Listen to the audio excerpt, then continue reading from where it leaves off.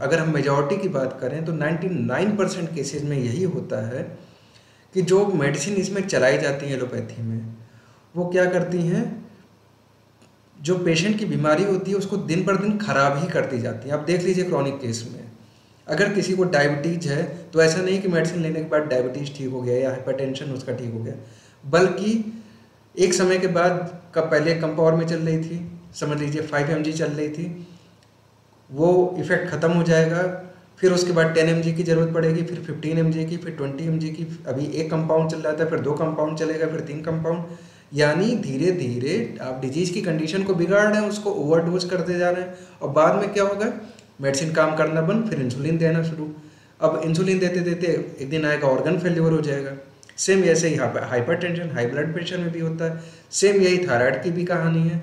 आप किसी भी क्रॉनिक डिज़ीज़ को उठा के देख लीजिए liver failure kidney failure heart failure या कोई भी बीमारी, वो धीरे धीरे उसमें डोज की क्वांटिटी बढ़ती जाती है मेडिसिन के कंपाउंड बढ़ते जाते हैं और एक समय आता है कि बोल देते हैं, अब ये ठीक नहीं होगा ऑपरेट करा लीजिए या फिर ट्रांसप्लांट करा लीजिए। ये तब भी हो रहा था, अब भी हो रहा है, कोई चेंज नहीं हुआ।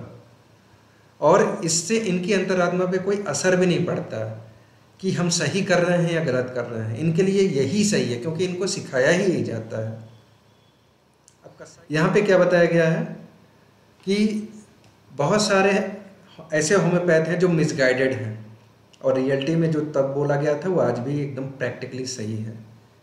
कैसे? वो या तो अपने आलस की वजह से सीखना नहीं चाहते हैं, वो एलोपैथी की प्रैक्टिस करते हैं। या फिर एलोपैथी मिला के देते हैं होम्योपैथी में। या फिर ऐसे लोग जो दूसरी कैटेगरी के हैं, वो हर एक डिज़ीज़ की स्पेसिफिक मेडिसिन ढूंढते रहते हैं। जिसे हम कहते हैं ना थेराप्यूटिक मेडिसिन देना। एक्चुअल में थेराप्यूटिक का वर्ड का मतलब कुछ और है। लोग उसे गलत इंटरप्रिटेट करते हैं। होम्योपैथी खुद एक थेराप्यूटिक मेडिकल साइंस है।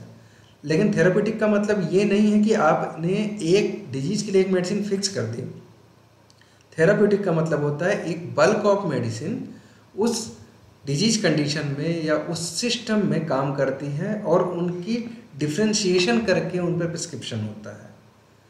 तो ये एक मिसकॉन्सेप्शन है थेराप्यूटिक को लेकर